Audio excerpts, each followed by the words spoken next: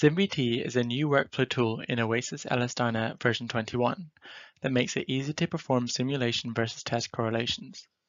This is an essential step in the automotive virtual testing frameworks, but SimVT is a versatile tool which can be used to compare any two data sources. In this video, I'm going to cover a quick start guide for how to use SimVT to compare ISO-MME and CSV data without loading in an LS-DYNA model. So I've opened up a fresh session of THIS and I don't have any LS-DYNA models loaded in.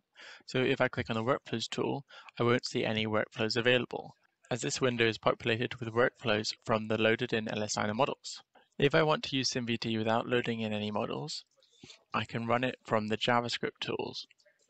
So I'll click on SimVT and it opens up on the right hand side with the correlation setup window. Next, I can import some ISO-MME data I'm going to import some test data here. And I'm also going to import some CSV data. Note that the reference test has been set to T2 because that was the last imported data. So I'll need to change this to T1 as T1 is the test data. I can remind myself of this by hovering over and seeing the additional information. Note that data imported in this way is assumed to be in SI units, so that's meters, kilograms, seconds, radians. If that's not the case, then you'll need to correct the data before importing it, or you'll need to correct it afterwards in SimVT by using the corrective operations. I'll now select T2 as the simulation. I'm not going to use the protocol option in this demonstration as I've covered that in another video. Going to change the method to Cora plus 4.04. Note that the evaluation interval has changed there. SimVT has automatically matched a number of channels, and if I hover over any of them, I can see what the matching was. So T2, which is my simulation, has been matched to T1, and I can see that the unfiltered X head acceleration has been matched to the pre-filtered X head acceleration of test. So the last character there is 0 for sim and P for test. And this is quite a common case.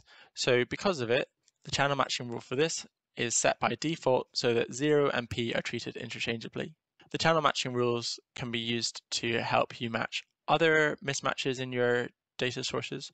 For example, it's common for the first character to be a D for dummies. So if you ignore test object, that will help you match those. You can ignore position, and that will be useful if for some reason you want to correlate between left-hand drive data and right-hand drive data and then I could ignore the filter class, but when I select this, it won't let me add any other rules because this rule is set by default. So I would need to click on it and delete it if I wanted to ignore the filter class in this way. In this scenario, it doesn't make any difference because I've only got zeros and P's. But if I had filtered channels, note that they would also be matched. If I want to see which channels did not find a match, I can click on all channels. And those that appear in gray are those that only exist in either the simulation T2 or the test data T1. And those that are white are selectable because they exist for both test and sim.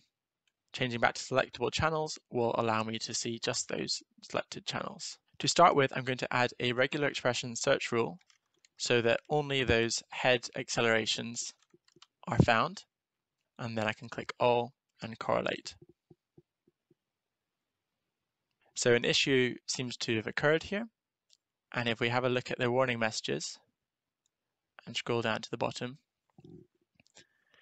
we can see that there is an issue regularizing the curves to 10 kilohertz. There's also a helpful message here suggesting that the problem could be that my data was assumed to be in seconds, but it was actually provided in milliseconds. So I can try setting mul x to 0.001 to correct this. So if I go to operations, turn off autoplot and select all the head channels, I can then correct the simulation curves to 0.001 and try plotting again. And this time we see that that worked. So that suggests that the issue was that the units were in milliseconds, not seconds. I can now add more channels to correlate by clicking on back and then turning off the filter here and selecting them all. And notice that many of the correlations have failed again so I'll need to do the same correction to the other curves. So auto plots off, I can select them all, and then with holding down shift, I can select the rest here. and I can actually just click in any of the values that I want to propagate and press enter and then press plot to replot.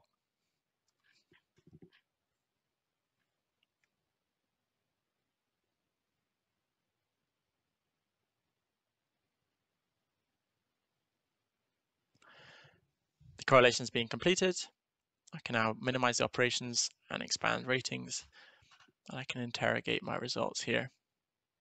Some of these results are throwing an error still, so I can actually click on them to highlight them. And I can see that the issue here is that my reference test data appears to be a flat line zero signal. So that suggests that there is an issue gathering the data. I can confirm that by blanking the simulation curve and then restoring it with the middle mouse button. If I want to just focus on the error curves to make sure, I can turn off all the plotting and then holding down shift and control combinations, I can select all of the error curves here and then press plot. And if I go to the first virtual page here and minimize the window, I can see that indeed all the reference curves are flatline signals until we get to these plots. So we can take a look at those. And what we can do is click back and then filter just the B pillar curves and then correlate again. And we'll see only those shown here, which can make it easier to interrogate the results. And we can see the total score was evaluated for the X and Y acceleration, but there appears to be an issue with the Z acceleration. If we take a closer look at that curve by changing the view to one by one, and then selecting it here, we can see that this time the simulation curve is zero. So there was an issue with my simulation data gathered for that particular curve. This quick start guide demonstrates using SimVT to compare ISO-MME and CSV data without loading in an LS-DYNA model. I cover a range of SimVT features which are summarized here.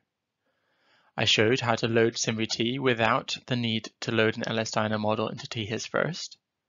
I showed you how to import ISO-MME and CSV data into SimVT. Note that the unit data is assumed to be in SI units. I showed you how to use channel matching rules to match ISO channel codes that differ between test and simulation, and how to display all the channels or just the selectable channels. Showed you how to perform corrective operations to convert multiple channels from milliseconds to seconds, how to plot corridor correlations for simulation versus test, how to select groups of channels using a combination of shift click and control click, how to highlight the corridor graph for individual channels, how to change the virtual page, how to change the graph layout, and finally, how to identify some common issues with imported data. Thanks for watching. I hope you found this video useful and feel free to reach out to us with any questions, comments and requests.